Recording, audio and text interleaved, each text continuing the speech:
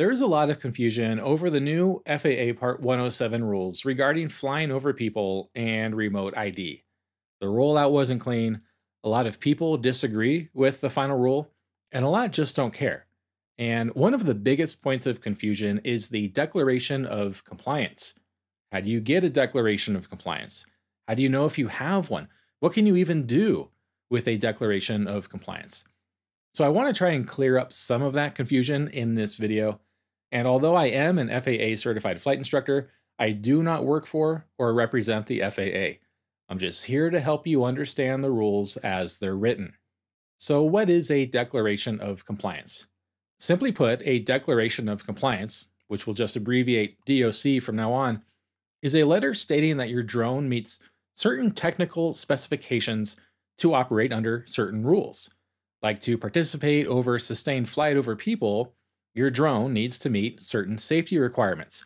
It can't be so heavy that if it fell out of the sky, it would completely crush someone. So if it meets those requirements, it gets a DOC certifying that it is allowed to fly over people. And there are currently two types of DOCs a remote ID DOC and a DOC for flying over people. These two DOCs allow you to operate under two different parts of the FAA regulations. A remote ID DOC is not the same as a DOC to fly over people, and vice versa. They're two completely separate things. So let's look at these DOCs further, starting with Remote ID. Remote ID is outlined in the Federal Aviation Regulations, Part 89, and starting in September of 2023, all drones operating under Part 107 and any other drones over 0.55 pounds must broadcast remote ID, unless they're in an FAA recognized identification area, which is a whole other controversial topic. The FAA has determined some technical standards for meeting these remote ID requirements. And these don't actually matter to you as an operator unless you're building a remote ID module yourself. But if your drone does meet these remote ID requirements, it will be issued a DOC for remote ID. It's simply a certificate stating that it meets the technical standards for remote ID and grants you all the benefits of having remote ID capability, which we expect to include things like flying beyond line of sight and other privileges. Now let's look at operations over people. Flying over open assemblies of people is the main purpose of an operations over people declaration of compliance. For Part 107 operations, you no longer need to apply for a waiver if your drone meets the safety requirements and has a DOC for operations over people. FAA Part 107, Subpart D, outlines the four categories for flying over people without a waiver. Summing those up, Category 1 is for drones weighing 0.55 pounds or less. A DOC for operations over people is not required, but a remote ID DOC is.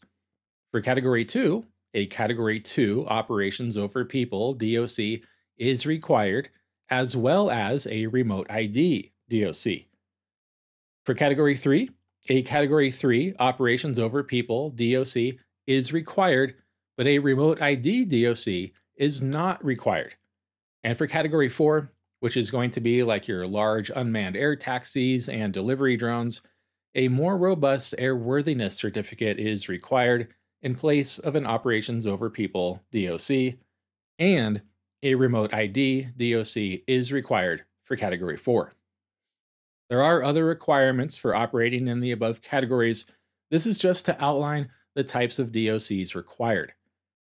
As you can see, operations over people DOCs are only required or issued for two categories, category 2 and 3. Remote ID DOCs are required for categories 1, 2, and 4. Another point of confusion is how you actually obtain your DOCs. There is nothing that you can do to apply for any of these DOCs unless you're building drones or remote ID modules yourself. So don't email the FAA asking for a DOC if you're flying a commercially built drone, like from DJI, Autel, or Skydio, those manufacturers are the ones responsible for the paperwork and applying for these declarations of compliance. They'll appear on the FAA's public DOC list once it's cleared through the FAA, and this is where you'll obtain a DOC if your manufacturer has been approved.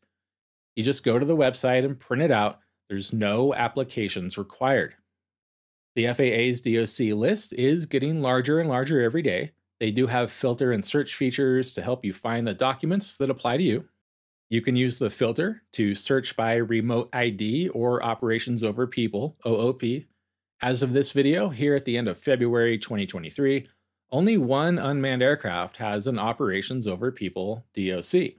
There's a lot of drones with remote ID DOCs now, so you can use the search bar to narrow down the list by your manufacturer or model.